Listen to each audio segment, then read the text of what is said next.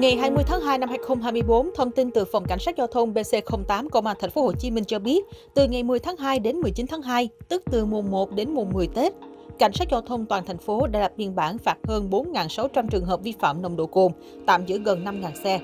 Theo đó, với kế hoạch kiểm tra nồng độ cồn xuyên đêm xuyên Tết, bố trí các cụm tuần tra kiểm soát, phối hợp công an phường của các địa phương chốt chặn trong các ngõ hẻm, hàng loạt trường hợp đã uống rượu bia vẫn lái xe đã bị xử phạt.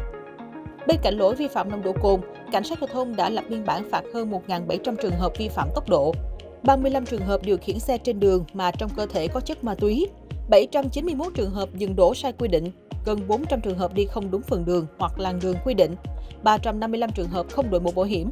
Tổng số tiền dự kiến phạt là hơn 8 tỷ đồng. Đồng thời, cảnh sát giao thông đã tước quyền sử dụng giấy phép lái xe có thời hạn của hơn 2.500 trường hợp. Chia sẻ với báo Thanh niên, lãnh đạo một số đội trạm cảnh sát giao thông cho biết, trong dịp Tết vừa qua, các đơn vị đều bố trí các tổ tuần tra kiểm soát, xử lý nghiêm các trường hợp vi phạm về trật tự an toàn giao thông, trong đó trọng tâm là xử lý vi phạm nồng độ cồn. Lãnh đạo phòng cảnh sát giao thông cũng thông tin rằng, theo kế hoạch, trong dịp Tết Nguyên đán, đơn vị đã huy động tối đa lực lượng để hướng dẫn, giúp đỡ, tạo điều kiện cho người dân tham gia giao thông an toàn thuận lợi. Cảnh sát giao thông thành phố đã siết chặt kiểm tra xử lý nghiêm các hành vi vi phạm là nguyên nhân chủ yếu gây tai nạn giao thông như chở quá số người quy định, đi không đúng làn đường, phần đường quy định, chạy quá tốc độ, không chấp hành hiệu lệnh của đèn tín hiệu giao thông, đặc biệt cương quyết xử lý vi phạm về nồng độ cồn theo phương châm không có vùng cấm, không có ngoại lệ.